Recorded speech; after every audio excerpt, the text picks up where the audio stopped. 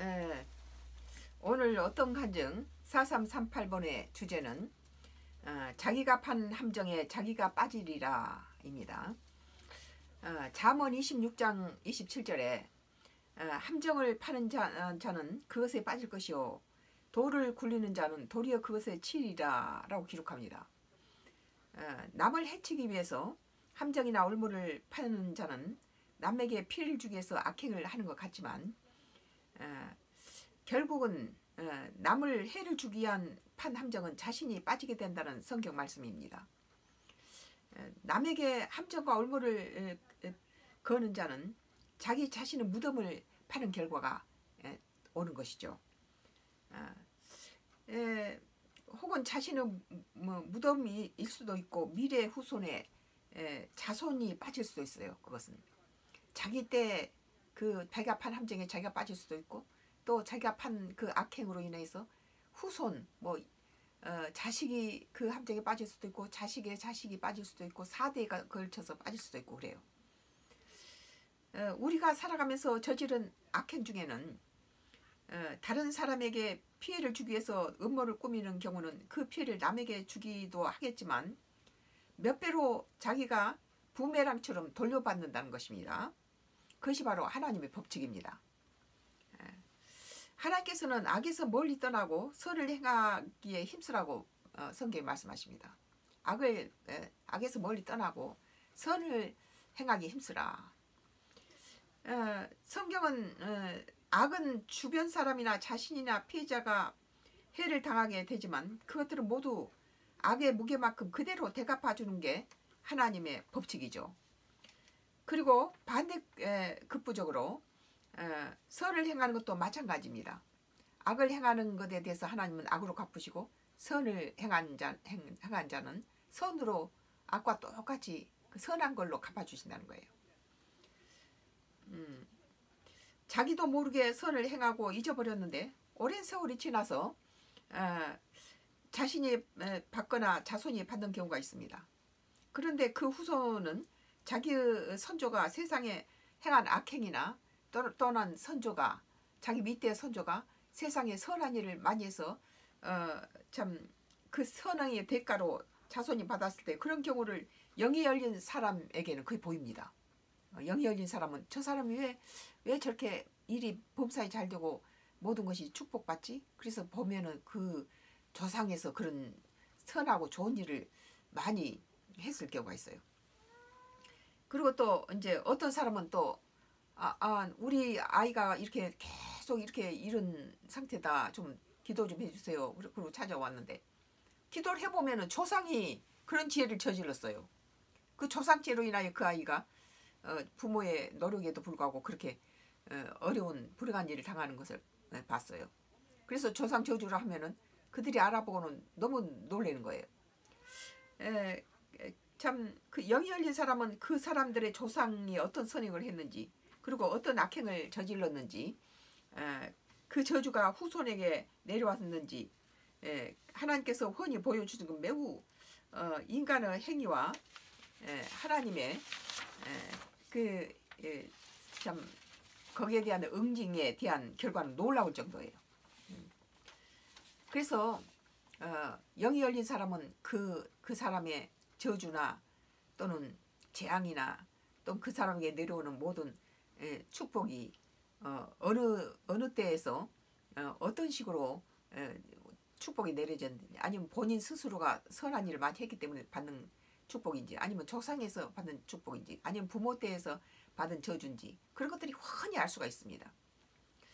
어떤 간증으로 에, 나의 어떤 간증을 하자면은 어떤 내가 알고 있는 어떤 분이 젊어서 청산갑으로 아들 하나, 아들 둘에 딸 하나를 키우, 키우는 청상 과부로 사신 분인데 삼남매를 잘 키워가지고 이제 그 다 출가를 시켰어요. 어, 그런데 이제 이, 이 노인한테다가 어, 이제 며느리 둘이 있고 이제 사이가 하나 있겠죠.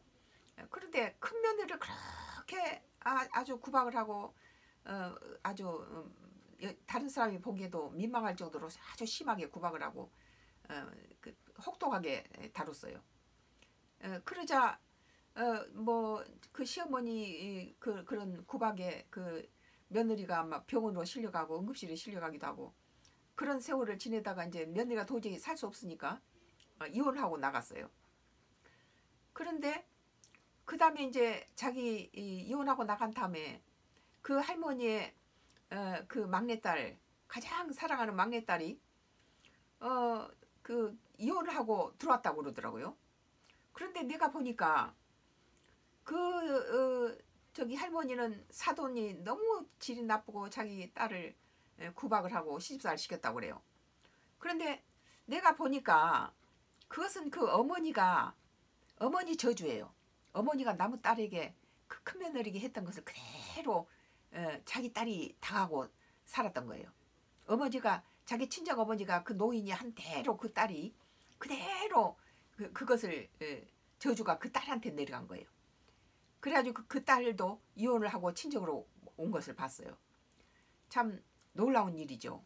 그렇게 자기 때 되는 수도 있고 자기 자식 때 되는 수도 있고 또 3대 4대에서 내려간 수가 있는데 그래서 우리는 악을 심든지 선을 심든지 그게 절대 그냥 지나가지 않는다는 거예요.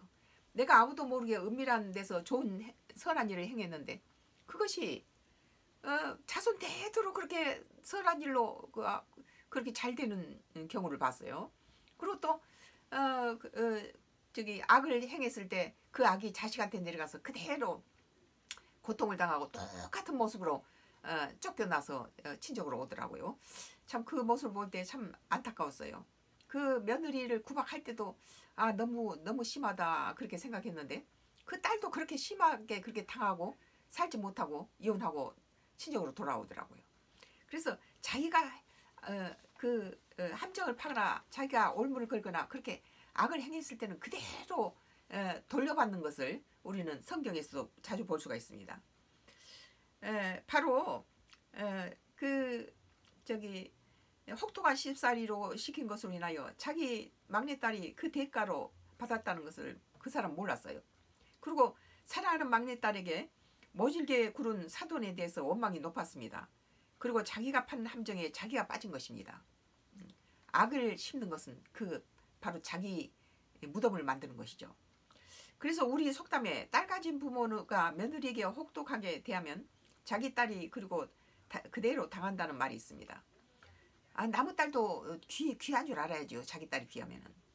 나무 자식에게 참 판 함정이 자기 딸이 그 함정에 빠진 결과를 난 것이죠. 에, 이사야 8장 15절에 에, 많은 사람들이 그로 말미암아 걸려 넘어질 것이며 부러질 것이며 어, 덫에 걸려서 어, 잡힐 것이니라 라고 기록합니다. 어, 하나님의 죄에 대한 대가는 혹독하십니다. 어, 선에 대한 보상도 어, 확실하십니다. 어, 어, 걸, 참 이사야 8장 14절에 보면은 그가 성소가 되시리라. 그러나 이스라엘의 두 집에는 에, 걸림돌과 걸림돌과 걸려 넘어지는 반석이 될 것이며 어, 예루살렘 주민에게는 함정과 올무가 되시리니라고 기록합니다. 하나님께서는 하나님을 떠난 유다와 북이스라엘의 악에 대해서 그들이 걸려 넘어질 올무와 함정을 팔 것을 예언하십니다. 에, 그들 스스로 하나님을 배반하고 또 하나님의 율법과 하나님의 언약을 저버린 것에 대한 징벌인 것입니다. 그 에, 유다 지파와 북이스라엘의 하나님을 떠난 그들은 하나님께서 그것들을 걸림돌이 돌이 되고 함정이 될 것이라 그렇게 말씀하신 것이죠. 성경은 어, 심은 대로 거두리라 그럽니다. 아 씨를 저기 어, 콩 심은 데 콩 나고 팥 심은 데팥 난다는 우리 속담도 있죠. 심은 대로 거두리라. 어, 심지 않고 거, 걷기는 어렵죠. 선을 심은 자는 선으로 거둘 것이고 악을 심는 자는 악으로 거두게 됩니다. 우리가 이 세상을 어떻게 살아야 될지 그 지표가 되는 것이죠. 선한 것을 많이 심는 사람은 그 자손들이 잘 돼요. 그러나 남을 괴롭히고 악을 저지르고 어, 남의 집에 독을 던지고 뭐 이런 아주 남의 생명을 노리고 이런 더럽고 추한 짓을 하는 사람은 그, 그 자손 대대로 그런 악이 뒤따라갑니다. 어, 어, 지, 지, 어, 지금은 이제 기촌에서 10년 전에 기촌에서 농사를 지어 보니까 심은 대로 걷는 거 맞습니다. 아, 심은 대로 나와요. 옥수수를 심으면 옥수수가 나고 감자 심은 데 고구마 나지 않아요. 감자 심은 데 감자가 나고 고구마 심은 데는 고구마가 나고 에, 그 심은 대로 건, 거는 거 맞습니다. 그러나 땅을 깊이 파고 대비를 주고 땅에 대해서 연구하고 산성인지 알카리성인지 성분을 어, 분석하고 공부하고 노력하면 심은 대로 거둘 수 있습니다. 심어서 그냥 무조건 되는 게 아니에요. 모든 어, 것들도 심어놓고 또 여러 가지 노력과 애써서 어, 수고해야만이 예, 심은 대로 거두게 되겠죠.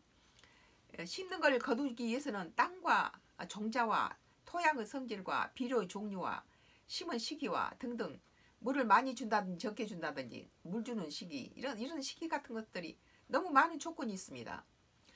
수많은 사람들이 꿈을 안고 기촌하지만 기촌이 갖고 있는 음, 함정과 올무에 빠지게 됩니다. 기촌한 사람이 대부분 많이 실패라고 돌아가요. 그런데 우리는 어, 서울서 농사란 건 뭐 지어본 적도 없는 우리가 어, 펜트만 굴리다가 오던 사람들인데 와서는 지금 10년째 어, 이렇게 살고 있는 것은 참그 욕심이 없었다는 거죠. 욕심이 없이 예, 또 함정에 빠질 일을 저기 하지 않았어요. 그래서 1년 만에 보따리 쌓고 돌아가는 사람이 부지기수인데 우리는 기촌에 실패하는 경우는 주민들과 다툼이에요. 그래서 우리는 서울에서 생활하던 그 펜을 그대로 여기 와서도 어, 성경 읽고 설교문 작성하고 예배드리고 하루에 세 번씩 예배드리고 다섯 번씩 기도하고 또 작품하고 농사짓고 여러 가지의 내 서울에서 했던 것을 그대로 하려면은 이웃하고 놀 시간이 없어요. 시간을 낭비할 수가 없죠. 더군다나 여기는 이제 농사 2,300평 농사까지 지어야 되니까 더욱 시간이 부족하죠. 그래서 여기서 실패하지 않고 우리 먹거리를 만들어서 유, 유기농으로 먹거리를 만들려면은 유기농이면은 어, 어, 그저 제초제도 뿌리지 않고 다 호미로 다 뽑아야 돼요 이 풀들을. 어, 그러니까 참 어려운 어렵죠. 그냥 제초제 확 뿌리면 풀이 죽는데 우리는 그런 농법을 안 쓰고 어, 우리 우리와 우리 가족들이 먹을 거니까 이제 유기농 어, 저기 어, 무농약을 하고 비료도 확비를 주지 않았죠. 이제 그런 것들을 하다 보니까 주민들하고 만날 사이가 없이 바빠요. 어, 동네 그 참 이렇게 과도한 투자를 하지 않았어요. 아, 있는 거 그대로 썼어요. 염소장도 그 전에 살던 사람들이 썼던 거 그대로 그냥 그대로 쓰고 열쇠만 하나 갖다 붙이고 어, 염소도 한 쌍 사다 넣어놓으니까 지금까지 어, 우리가 잡아먹기도 하고 팔기도 하고 또 들판에 또 까맣게 앙증 맞은 놈들이 또 새끼를 낳아서 수 놓기도 하고 그냥 그대로 10년 전에 한 쌍이 그렇게 에, 그 용돈도 벌어다 주기도 하고 또 우리가 음, 저기 그 노쇠해지면은 또 그놈 잡아서 약으로도 쓰고 우리가 잡아서 연소탕도 해먹고 여러 가지 이제 어, 기촌에서 커다란 꿈을 갖지 않고 예, 기촌에 실패하는 경우는 주민들과 다툼이나 인간의 문제와 과도한 투자, 결실이 없는 실패가 기촌을 포기하고 돌아가는 것입니다. 우리는 염소 한 쌍이 뭐 28마리까지도 불어나기도 하고 또 좀 줄여 넣었을 때는 대여섯 마리 됐다가 또 크게 1년에 두 번씩 낳고 예, 그렇게 되니까 또 금방 또 열댓 마리 넘어가면 너무도 어, 이렇게 우리가 좀 농산일에다가 가축까지 돌보기가 힘들면 또 많이 축소시켜버리고 팔을기도 하고 우리가 또 어, 약으로도 잡아먹기도 하고 이러면서 어, 조, 조절해요. 힘이 들 때는 좀 하고 풀 풀량이 좀 부족할 때는 어, 농사를 다 지어서 염소자 풀 먹일 데가 없을 때는 염소를 좀 줄여주고 또 이제 초지가 많을 때는 그냥 팔지 않고 그대로 두고 이제 이런 식으로 하죠. 그러니까 투자를 하지 않았어요. 뭐 비싼 뭐 농기구도 사지 않고 우리가 할 수 있는 범위에서 소형 농기구로 이렇게 해서 우리 먹을 것만 한 30, 대여섯 가지를 심죠. 그래서 골고루 시장에 가지 않고 밭에서 유기농 채소를 해서 먹고 또 김장도 다 우리 밭에서 이제 그렇게 먹, 고 과도한 투자를 않고 그리고 또 기촌에 대해서 아 맑은 공기고 어, 우리가 아, 너무 서울에서는 열대섯 명 음, 저기 빌라 저 아주머니들을 갖다가 정인으로 만져놓고 우리를 함정을 파서 어, 범인으로 만들었는데 이제 이 적은 마을에서는 그런 그러면 눈에 한, 한눈에 확 들어오죠. 이제 에, 그래서 기초라서 인구가 별로 많지 않은 데서는 에, 저기 Y 기업이 하수인을 싣고 올무 함정을 봤을 때 전부 드러나 버리는 거예요. 그 하수인이 하는 짓이 전부 내 눈에 다 들어와요. 숫자가 적다 보니까 서울보다 훨씬 범인 잡기가 쉬워졌죠. 그래서 어, 저는 사람 수가 많은 서울 한복판에 사는 것보다 기초나 여 소수 주민들이 사는 동네에서 살면 서울에서 원수가 열댓 명 거짓 증인을 만들어서 함정을 파서 올무에 걸리게 되는 일이 에, 시, 아주 허다했는데 여기서는 그게 쉽지 않다는 거예요. 아 매수 당하면 벌써 다 매수하면 나는 인터넷 그냥 그대로 올려버려요. 하나님이 그대로 올리라고 그래요. 예, 그래서 사람 수가 적고 적은 마을에서 원수가 하는 행동이나 악행을 잡기 수월하다는 것 그리고 과도한 꿈을 버리고 일용한 것들로 소규모씩 다양하게 심고 서울서 했던 일들을 기촌에서도 계속 이어가는 것이 목적이었습니다.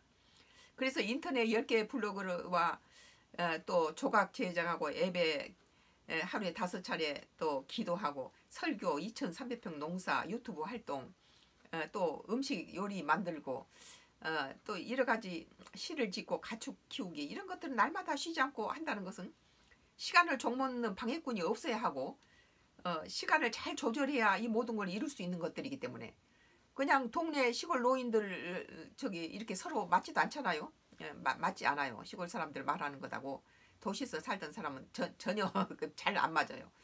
어, 사상 가치관들이 다, 다 달라가지고 어, 그래서 어, 내가 서울에서 했던 그 일들을 그대로 여기 와서 그대로 한다. 아, 공간만 바뀌었을 뿐이지. 어, 뭐 울타리가 없을 때는 불쑥불쑥 나와서 내 일에 방해를 많이 줬어요. 아, 뭐 시골 사람들은 아무데나 불쑥불쑥 들어오죠.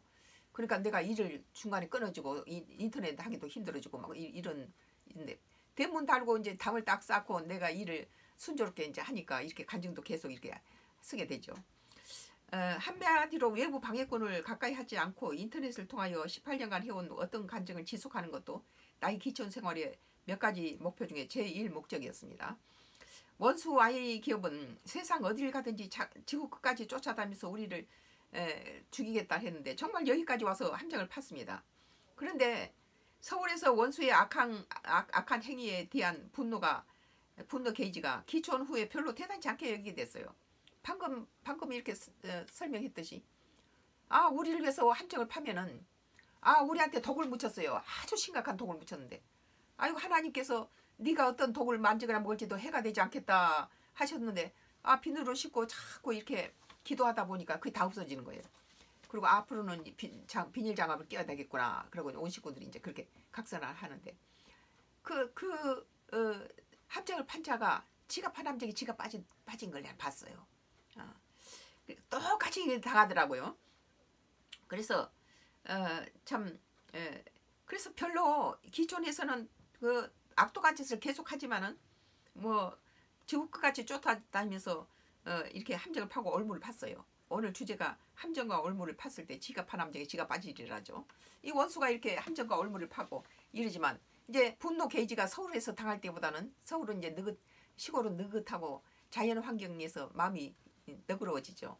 그러니까 이제 개의치 않게 된 거예요. 기도하고 성령으로 충만해지니까 그건 하나님이 갚아주실 거니까 붕괴할 필요도 없다. 붕괴하는 것도 에너지 낭비다. 이제 이렇게 된 거예요. 그래서 어, 도량이 넓어져서 원수 악행이 그들이 앞으로 당장 하나님의 징벌에 대한 대해서 불, 어, 하나님 징벌이 그들한테 다가올 것에 대해서 불쌍히 여기게 된 거예요. 어. 그들의 가치 없는 행동이나 그 행위들을 에, 그런 댓글에 대해서 불쌍히 여기게 된 거예요. 그 정도 그릇밖에 안 되니까 그런 짓을 하고 돈 받아먹고 그러, 그러겠죠.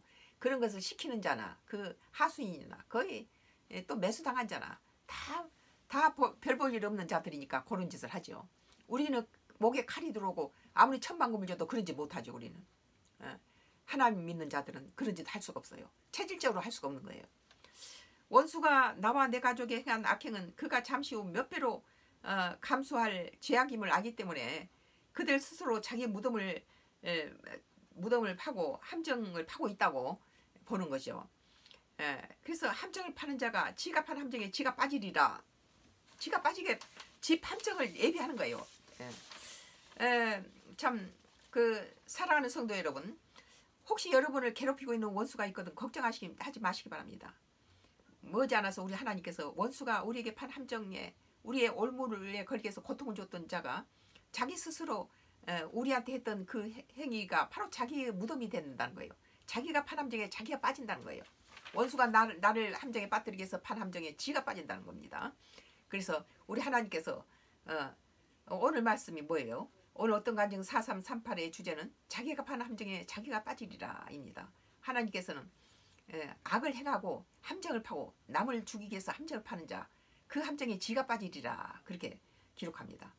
잠시 후에 어떤 간증 4338의 설교를 들으신 사랑하는 성도 여러분을 위해서 축도와 아, 중보기도가 있겠습니다.